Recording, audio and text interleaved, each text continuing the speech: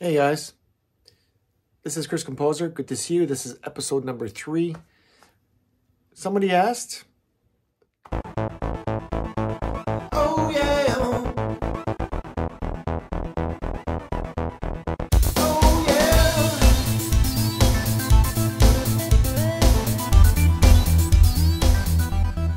Hi, my name is Chris Composer. Welcome to episode number three. This is a request that I've received to basically do a quick tutorial on how to set up your keyboard to do backtracks. And by importing some files from the computer and putting them in the keyboard over there and making music. So stay tuned. Here we go. Okay. Before we begin, we got to find a USB key first and basically format. This one's a really cheap one, 32 gigs, a few bucks, and we're ready to use it. Or are we?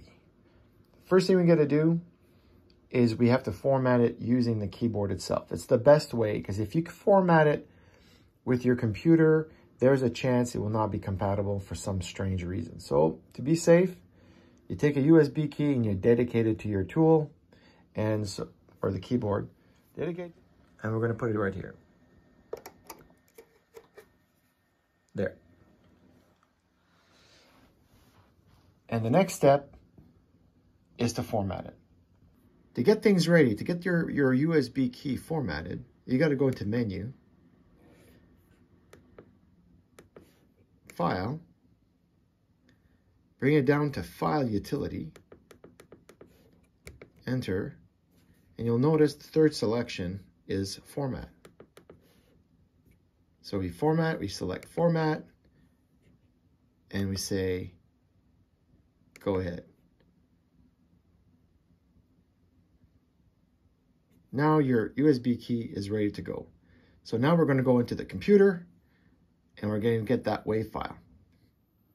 Okay, now that we have the USB key formatted by the keyboard, which is probably the, the safer way. The next step is basically connecting it to your computer. So I guess I'm going to use, I'm using an Orico um, with multiple USB 3 connections on it. It's okay. It works not bad. It does a job. And I just basically put it in there. So it is right here. And what you could do in this case is maybe rename it. And uh, I guess I'm going to call it CK61. So now we have a CK61 USB key. So the next step is to find a WAV file that works for you. Okay, so let's use this file.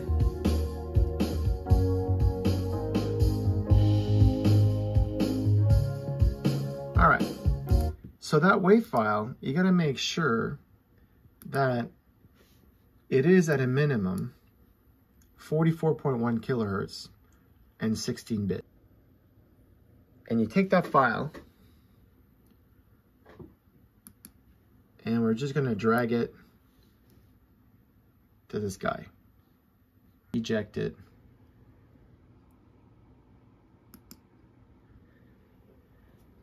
And I'm gonna grab this guy.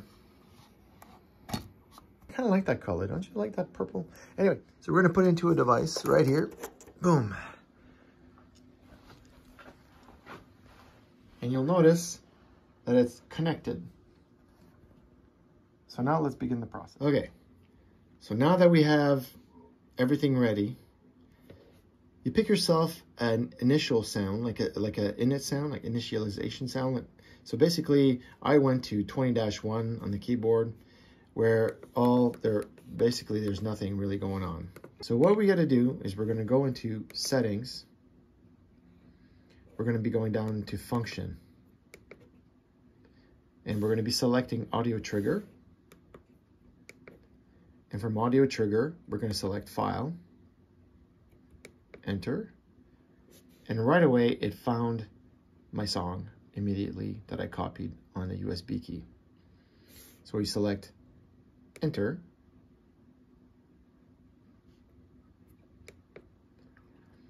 And now we have it in thing. So now what we got to do is we have to enable uh, the switch so, so that actually the trigger works. So enter, we're gonna switch that to on. We will go into volume. Right now it's set to 64 and we can, we'll come back and adjust it after. All right, so we go back down, we do go into key assign. So we're gonna be using the highest key, which means on the keyboard, it's the highest key on the keyboard, which is, I'll show you right now. The key we're gonna use is this one right here, and it probably works. So it's working.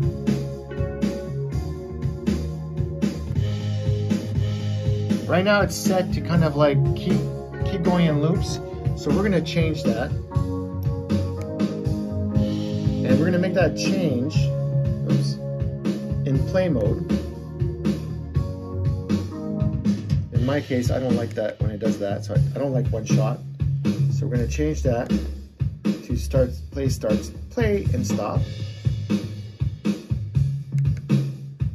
And now,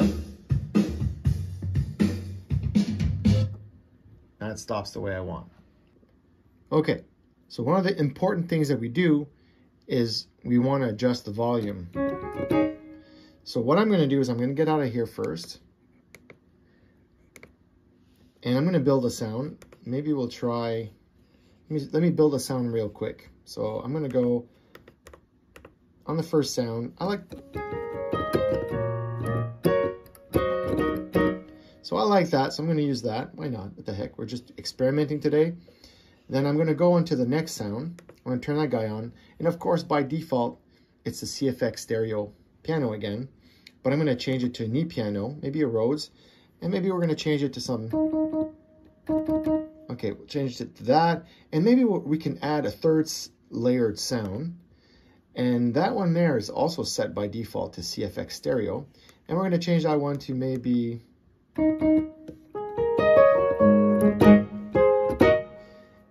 the next thing I'm going to do is uh, I'm just going to trans uh, tra transpose it. There you go. That's what I want to see. So what you do is you press, and then you go to the next sound, you hold the B, and you press the octave down, right here, and it went down a whole octave, and you do the same thing for this guy, bring it down, there you go. So that's the way I liked to do it.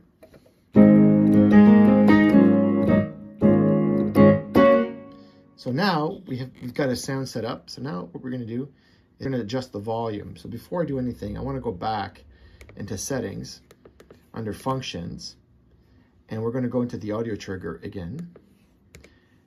And we're gonna press enter, and we're gonna go into the volume settings. So right now it's set to 64 by default.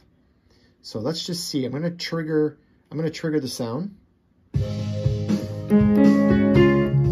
As you can see, it's not loud enough for me. So I'm going to bring it up.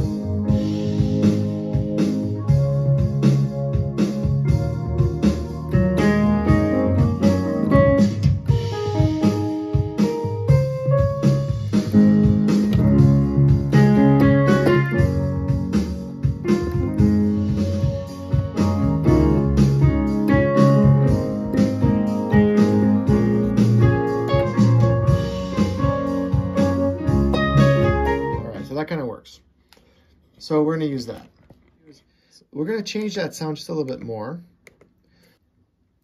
I'd like to get a little more uh, lead to this thing. Mm. Okay, I don't like that one.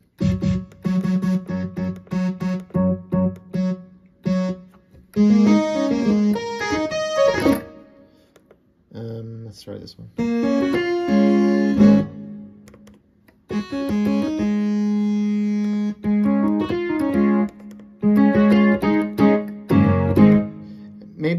Could do is also adjust the volume.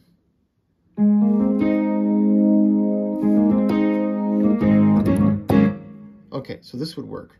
So in this case here, we've kind of like fixed the sound the way we want. And let's go back to the settings. Into function again, the audio trigger, volume. And I'm going to trigger the song again.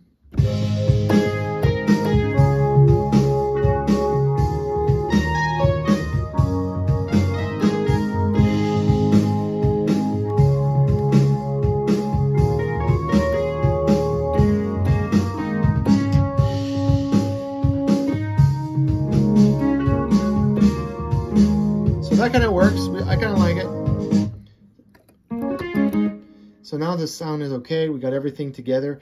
So now we're done. The next step is to basically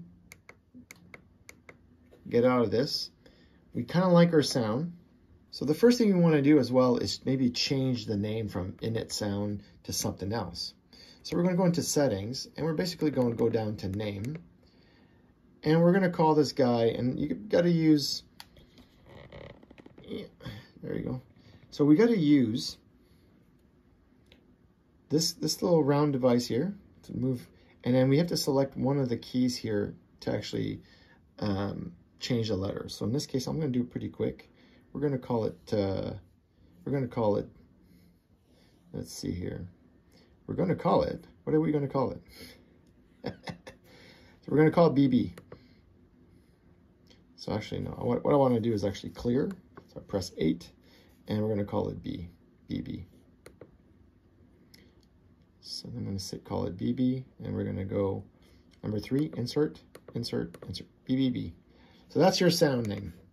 So now when we get out, we have our sound name, we have our trigger, we have everything ready, and we love it. So the first thing we're going to do before we switch patches, because if you switch patches, and go somewhere else, you're going to lose all your settings.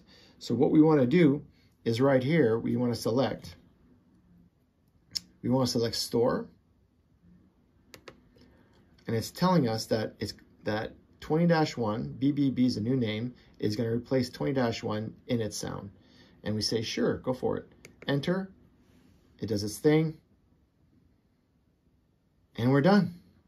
So now, if I switch patches and come back, it is there and my trigger, the, work, the trigger works.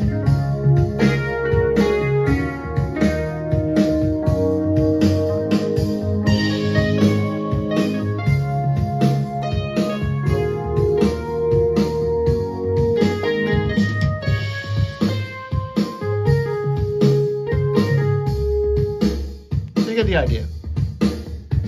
And when you're done, you press it again. So in conclusion, this is the quickie video on how to set up a backtrack on your keyboard oh, yeah. from a USB key. Thanks for watching. See you later.